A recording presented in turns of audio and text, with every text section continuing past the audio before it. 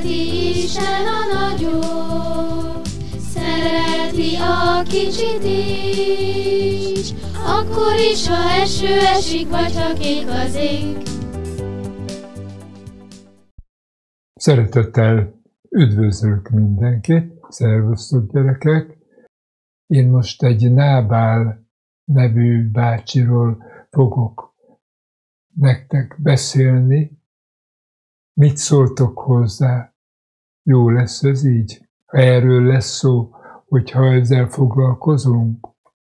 Nábál bácsi nagyon erős ember volt, és hogyha haragudott, akkor erősen kidülettek a szemei és amikor a reket hangján ordított, akkor még a szamál is megijedt, és rugott a hátsó két lábával. Ez egy különös ember volt, és ha átgondolom, szép piros arca volt neki, és a szakálla is olyan, olyan bozontos volt, és mindig símogatta a szakállát, mindig símogatta a szakállát. Nagyon göndör haja volt, és az, hogy ne essen annyira szét, egy pántal összefogadta. Így nézett ki körülbelül, hogy milyen ember volt, Hát nem igen voltak neki barátai, mert összeférhetetlen volt. Azt mondta, hogy mindig azt mondta, hogy úgy kell lenni mindennek, ahogy én gondolom, és ahogy mondom. Mindig csak magára gondolt, és a maga akaratát szerette volna érvényesíteni. És egy olyan ember volt, akinek az életéből kimaradt Isten. Teljesen kimaradt. Olyan rossz volt, hogy, hogy a szíve feketévé változott. Képzeljétek el, a bűn feketévé tette a szívét, és ezért olyan sötéten gondolkodott. Ő nem hitt Istenbe. Hát milyen szíve volt neki? Gondolom, gyerekek, hogy a ti szívetek azért nem ilyen, vagy a tietek is fekete, vagy szürke, vagy fehér, vagy milyen. Szívesen hallanám, hogyha ezt elmondanátok nekem. Tínédzser korában nagyon sokat kondizott, és erős akart lenni, és nagy étű fiú volt, mint ahogy általában a tinédzserek is, nagyétűek is, hogy egy ilyen méter kolbászt, hogyha kézbe vett, akkor az szépen leeresztette, és eltűnt a gyomrába, és hogy úgy érezte, hogy még jóformán semmit se vett. Aztán, ahogy haladt az élet útján, az egyik nagyon gazdag rokona meghalt, és ráhagyott egy nagyon nagy örökséget.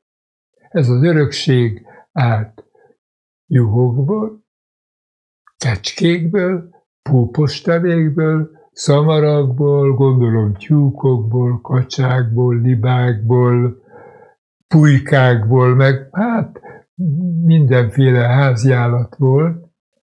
A Biblia említi is, hogy, hogy három ezer juha volt. Hát ez nagyon sok azért.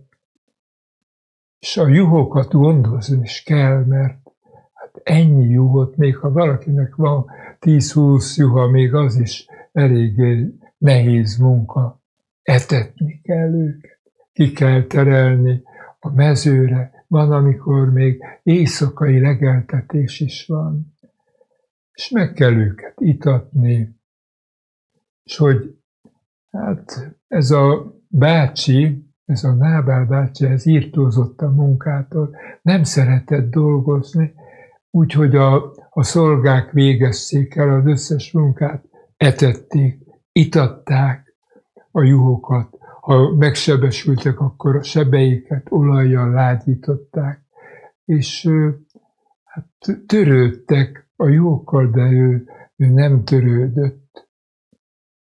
Amikor Nábáról gondolkoztam, akkor az Úr Jézus Krisztus jutott eszembe, hogy, hogy ő még Nábálnál is gazdagabb, az egész világ az ő kezében van, és hogy, hogy ő szereti a juhokat, és mi is a juhokhoz tartozunk átvitt értelemben, és minket is szeret, és hogy törődik velünk, nem úgy, mint ez a lábál, hogy ő csak magával törődött.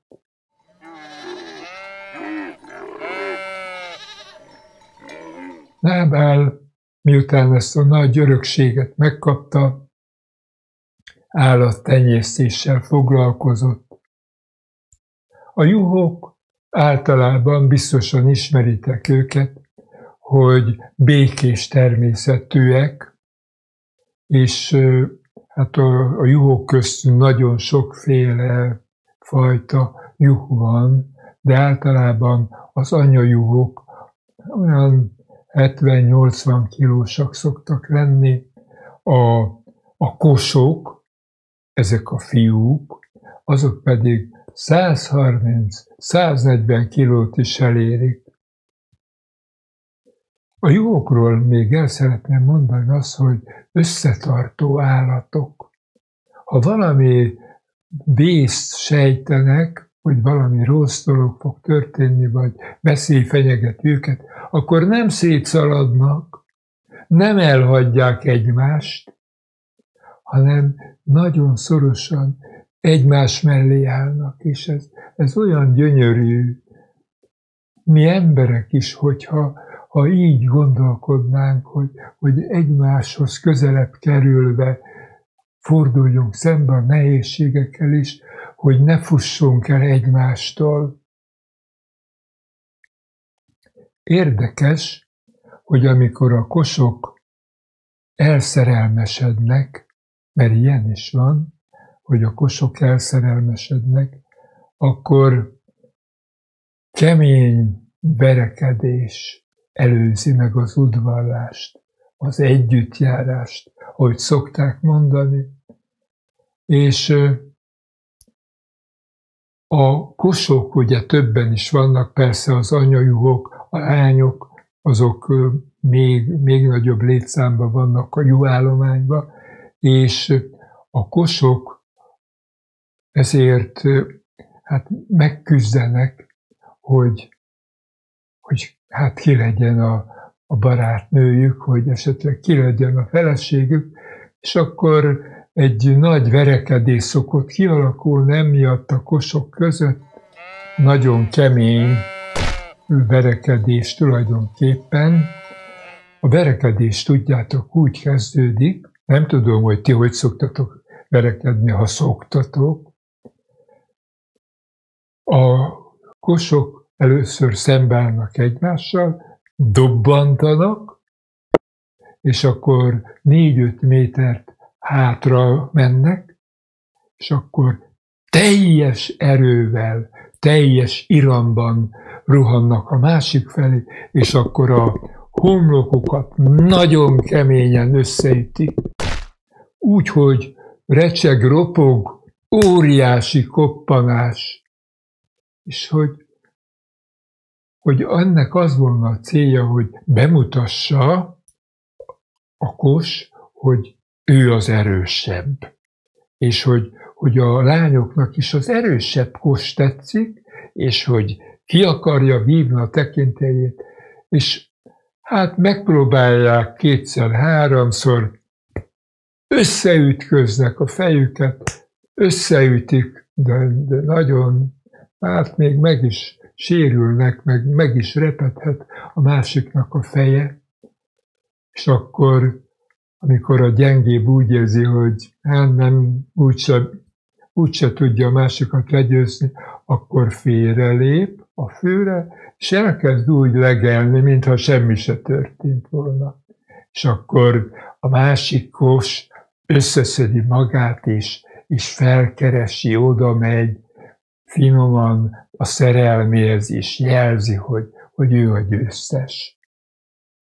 Hát így élnek a juhok és a kosok.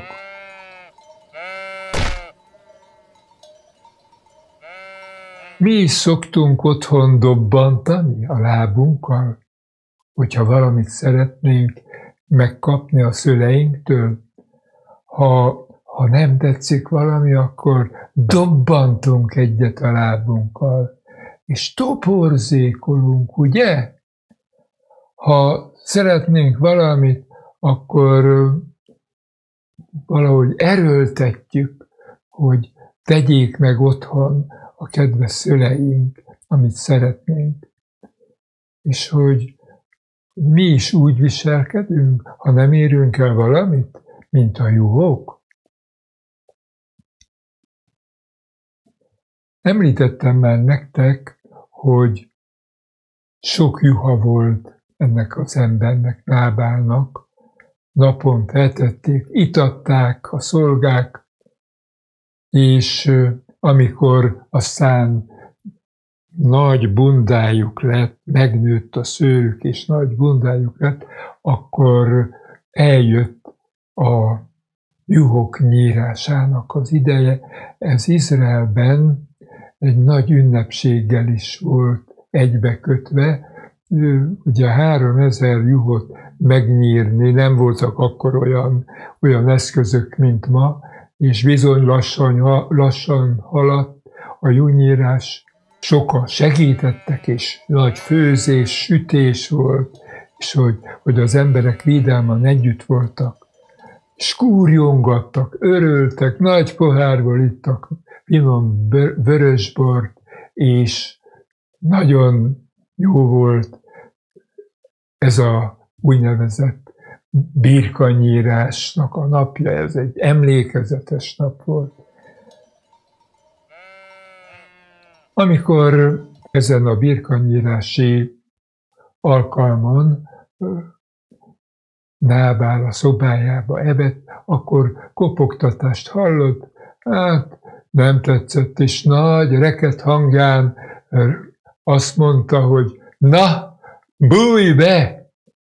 És Dávidnak, Dávid tudjátok a Bibliának egy fontos személye, elküldte tíz fiatal harcosát, hogy menjen és kérjen az ünnepi alkalomból egy kis ennivalót, mert bizony nekik nem volt már ennivalójuk, se innivalójuk, koplaltak, éheztek, és rosszul érezték magukat. Hát persze erre Nábál dübegurult, és ordított rájuk, hogy takarodjatok innen, mit érdekel engem a Dávid, és hogy hagyjatok békét nekem, nem tudom, hogy neked milyen szíved van, és hogy hogy, hogy is állunk, hogy, hogy te szívesen adsz másnak, hogyha látod, hogy szüksége van valamire, vagy, vagy csak azzal törődsz, hogy, hogy neked jó legyen. Dávid, amikor megtudta a szolgáitól, hogy nem adott, Nábál pedig ők sokszor segítettek a Nábál pásztorainak megvédeni a juhokat, akkor Dávid nagyon halagra lobbant, azt mondta, elmegyek, és ezt a bitang vén embert meg fogom ölni, megölöm őt. Hát hogy nem ad nekünk enni? És akkor elment Dávid az embereivel, hogy most megöli Rábát. És ahogy mennek fel a Kármel hegy tetején, jön velük szembe egy gyönyörű szép nő, okos nő volt, szép ruha volt rajta, és Dávidnak megesett a szeme ezen a szép nőn. Mikor találkoztak, a hölgy leborult Dávid elé, és bocsánatot kért, és könyörgött neki, hogy, hogy bocsássa meg Nábálnak, hogy így bánt az embereivel, és hogy, hogy ne ölje meg őt, és hogy hozott szamár háton, több szamár is volt vele, sokféle ennivalót, titokba, amiről Nábál nem is tudott, és, és hogy olyan nagy szeretettel volt Dávid iránt, és a, az emberei iránt, és akkor Dávid megköszönte neki, hogy, hogy lecsendesítetted a szívemet, hogy elmúltak az indulataim, hogy hatottak a szavaid rám, és milyen jó az, hogyha mi úgy tudunk másokkal beszélni, hogy megnyugszanak körülöttünk, és békét találnak.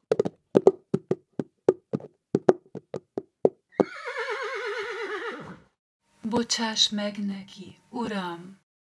És aztán a dolog úgy végződött, hogy a hölgy visszament az otthonába, Abigailnak hívták, Dávid pedig visszament az embereivel.